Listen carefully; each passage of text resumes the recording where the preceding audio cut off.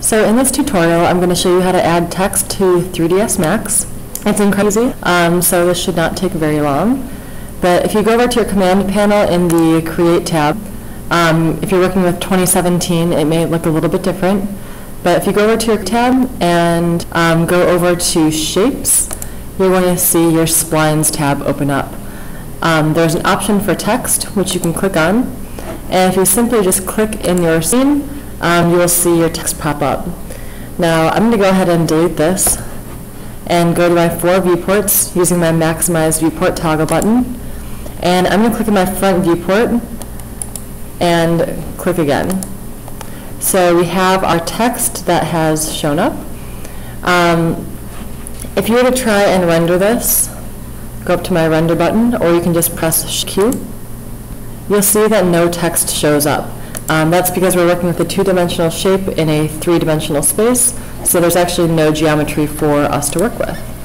So the way we can do that, um, I will actually wait a couple minutes, but feel free to change the font um, to whatever you'd like. You can change the size um, by typing in whatever you'd like or just using your scale buttons. You can adjust the kerning, which is the spacing between letters, or the leading if you have multiple lines of text. Um, so for now, um, I'm just going to keep it like this, and I will show you how to actually add dimension and shape. The first thing you can do is you can go up to your rendering tab and say enable and renderer and enable viewport, which is some thickness. Now, if we look at our perspective view, it just looks like an outline. So if I were to go to Shift Q again to render, you'll see we get a nice outline could be really more neon signs if you're looking to accomplish something like that.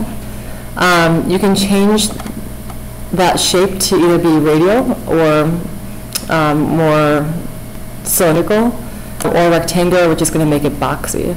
Um, you can also adjust any of those parameters to make it as thick or as thin as you'd like.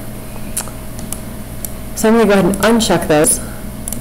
The add dimension is to go to your modifier list and you can use the extrude modifier and you can adjust the amount to whatever you want.